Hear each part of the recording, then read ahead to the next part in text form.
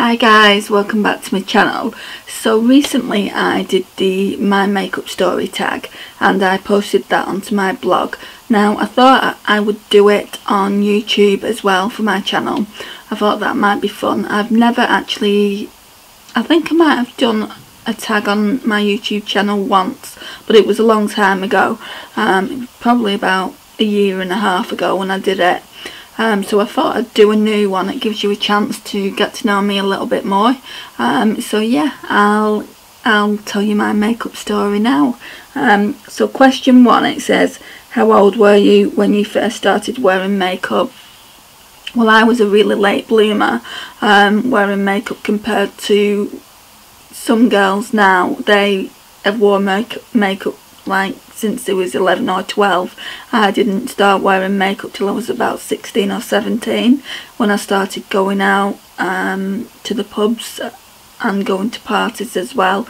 Obviously I wanted to look nice um, so I started experimenting with makeup then. Um, I think that I wore makeup once when I was at high school and um, the science teacher was not impressed and told me to take it off straight away and it was mascara and eyeliner and I remember scrubbing um, my eyes and it took forever to get off and I think that's why I never wore it again for school and also it looked like I'd been crying because I'd been scrubbing my eyes so long to get the products out and even even though I'd been scrubbing it the mascara came off eventually but the eyeliner um, was just it looked like he had panda eyes. Um, but yeah that was that was just awful. Um, so I didn't wear makeup to school again after that. So question two is how did you get into wearing makeup?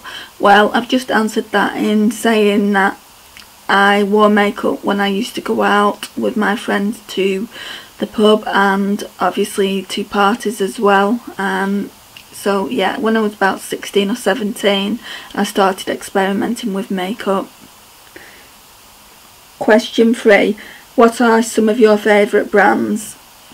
My favourite brand has got to be Too Faced without a shadow of a doubt. They do the best packaging um, and the holiday collection in particular what they are bringing out this year is just so cute. Um, I've actually asked for some of that holiday collection for Christmas so I'm hoping um, some of my family and friends will get me that. Um, well not really friends but family. Um, I also like Urban Decay. Um, Urban Decay when I say I like Urban Decay it's more the naked palettes. I like Becca Cosmetics um, but that's more like the highlighters that they do and some of the cheek products I like I've just got um, one of the face palettes and I have the Jaclyn Hill and Becca Cosmetics um, face palette as well. I really like both of them. Um, what else did I write? Oh yeah it was the, the new Becca Blush with Light palette. Um, really really enjoying using that at the moment even though it's quite a new product to me. Um, and I also really like NARS products in particularly um, you won't be surprised to hear this but the foundation the NARS Sheer Glow foundation I just really like the way that it looks on my skin. Um, I do like the Orgasm blusher and I've got a couple of lipsticks from NARS as well and an eyeshadow duo. I think it's in the shade Isolde, um, if that's how you pronounce it. Um, but I'll, I'll leave the actual colour in the description box if you want to go and check that out.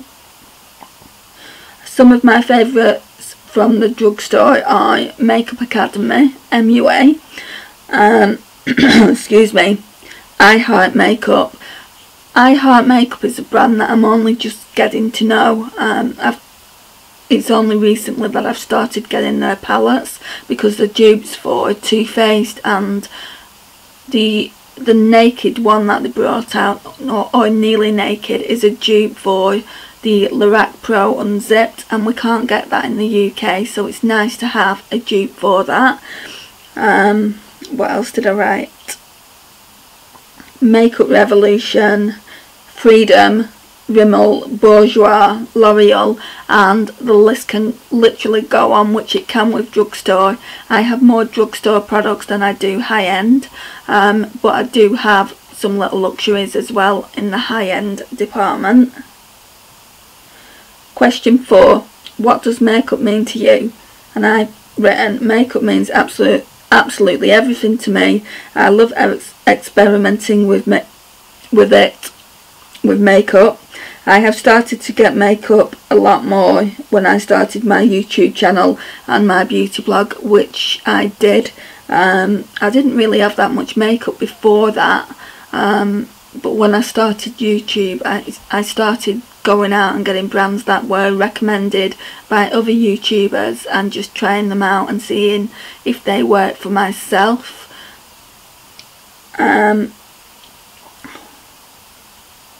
I love that you start off with a blank canvas. You are your own artist and you can create any look that you want from a smoky eye to a nude and natural look um, to a bold lip. Anything, the possibilities are endless. Question 5. If you could only wear 5 makeup products on your face, what would they be? My top 5 products would be my NARS Sheer Glow Foundation a good base is vital. My Rose Spritz blush from the Becca and Jaclyn Hill palette and the Champagne Pop highlight from the Becca and Jaclyn Hill palette. The eyeshadow would be from my Too Faced Chocolate Bar. I love that palette. It is my favourite palette um, even though I've not used it in quite a while. Um, it's definitely a favourite. It, it has all the neutrals that you're ever going to need and it has some pops of colour in there as well. So yeah, I really do like that. Um, and I've also put that on. I'd like a nice natural matte lip as well and I've been wearing Ka Kylie's Candy K lipstick. I love that lipstick and I also really really like Posy K. Um, they're the kind of two nude lips that I'd like um, but if I could only take one it would be Candy K. What is your favourite thing about makeup? That's question six. I like that as soon as you put makeup on it can be a confidence builder and you can also create any look you want um, so that's the answer that I've given for that one. Question 7. What do you think about drugstore versus high-end makeup? I love the fact that drugstore um, basically dupe high-end makeup. Like I said earlier, the Lorac Pro Unzipped, you just can't get it in England. I don't know of a site where this where they sell it and they ship it over to England. I've checked the Lorac Pro the Lorac website and they don't ship to the UK. I'd really appreciate it if you know of a site that does and you could leave that in the link because I really would like that palette. Um, but yeah, I'm glad that I Heart Makeup did a dupe for it. And they've also done dupes for the Too Faced chocolate bars as well, which I think is really, really good. Um, what else did I write? Yeah I just put that the great value as well. The retail at seven ninety nine I think.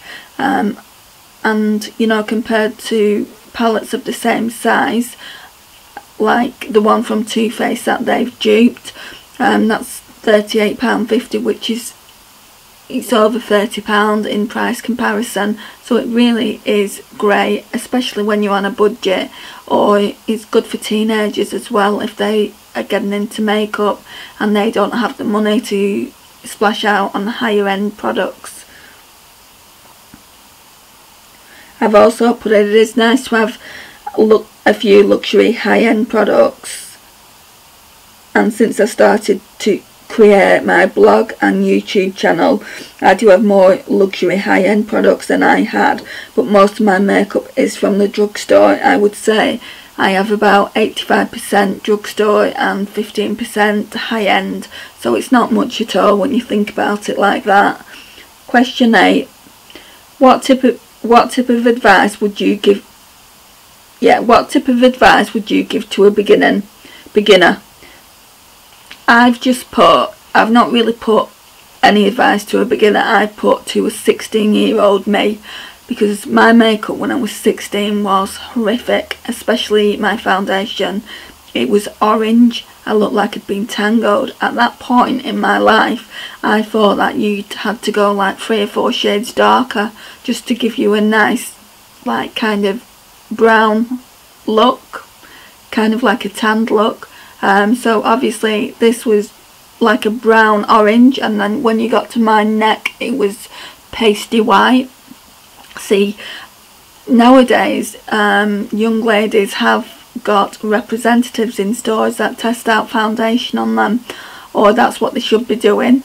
Um, back when I was looking at foundation when I was 16 over 20 years ago they didn't have anything like that for me um, so I just had to go to the shelf and choose my own. I think the first foundation I ever chose was from Rimmel um, and it was just, it must have been about four shades too dark for me so it really really did look bad. Um, so what I would suggest now to me if, if I was like 16 again or just starting out in makeup go and to go to the brand that you want to purchase the foundation in and ask them to colour match you. If you live in the UK, number 7 have this brilliant way of colour matching you. They put like a, a tool just on, on you like here just so they can tell what kind of um, foundation that you need um, or just go into a department store um, and they'll colour match you and obviously then you'll know what shade you are um, and then the idea is once you've got your foundation on you can bronze up your skin to bronze up your face to warm up your skin um, whereas I just thought the foundation did that so I didn't even bother with bronzer back then um, but that was yeah, we're just saying it was a long time ago that happened. I think I've come a long way in applying makeup. Um, but yeah, I'm not ashamed to say, you know, I did make a lot of makeup mistakes back in the day. Um,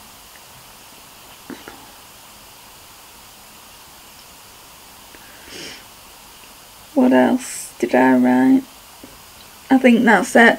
Everything I've just told you I wrote. So which is one makeup trend that you have never understood? The one makeup trend that I've never understood is baking, how you bake your entire face, like where you I understand like the concept of it but when I come to do it it just doesn't seem to work out for me. So although I say I don't understand it I do understand it. I understand that it gives you highlight like it gives you a sharp contour if you put it underneath. Um, and if you bake under your eyes it um, it is supposed to make them look more luminescent, more highlighted, like you're more awake. Um, but for me it just doesn't seem to work out right and I don't know what I'm doing wrong.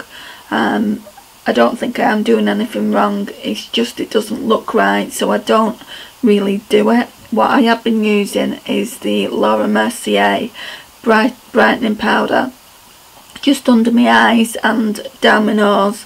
Um, and then on my cheek here. Um, just to I wouldn't call it baking but just to give it a little bit of a glow. Um, but yeah I do not bake. I don't bake. Um, so yeah that's basically what I answered there. And then number 10 what do you think of the beauty community on YouTube? I think the beauty community on YouTube is really good. I've only been back on YouTube a short while. Um, I think I started my YouTube channel now about two years ago. Um, I've been back on YouTube probably less than six months and I really do like it. I like the interaction. I haven't, like I said, I haven't been on that long so I get more interaction through my blog um, and yeah I, I can't I don't really have a bad word to say against YouTube. I love watching other YouTubers videos. Um, I'm always watching those um, so yeah really really do like it. Um, but I do blog more than I make videos for YouTube. So if you haven't already checked it out, go over to my blog. It's beautywithandrea36.blogspot.co.uk. If you haven't subscribed to my channel, um, please do so and hit that subscribe button. I would really appreciate it. And what did I write? So at the end of this um, blog post I put that's all the questions answered I really enjoyed doing this post for my blog as it's something different I hope everyone enjoys reading it as much as I enjoyed writing it. And why not do the tag yourself? If you have done this makeup story tag already you are going to or or you are going to do it please leave a comment. I would love to read it. As always thank you for reading. So I'm not tagging anyone in particular. If you've not already done this makeup story tag, um, you do it and please please leave me a comment down below with your YouTube channel and I'll go and check it out. Thanks for watching as always. I'll see you in the next video. Bye for now.